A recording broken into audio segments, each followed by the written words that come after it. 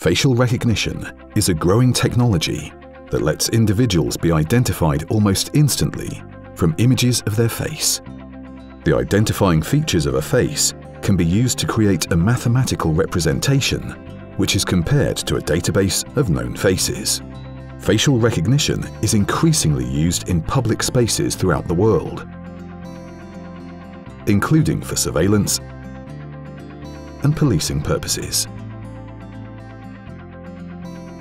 The rapid adoption of facial recognition has meant that specific legislation is often lacking and its position under existing legislation is not always clear.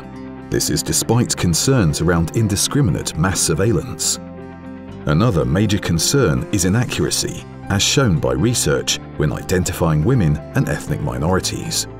The systems can reproduce cultural or historical biases, leading to discrimination, misidentification or false arrests. The EU-funded DataFace project analyses how current uses of facial recognition in public may threaten existing EU privacy and data protection rights. By studying uses of facial recognition in public spaces and their current legality, DataFace aims to reach an understanding of whether a legitimate and proportionate use of this technology in balance with citizens' rights can be found to help develop future legislation.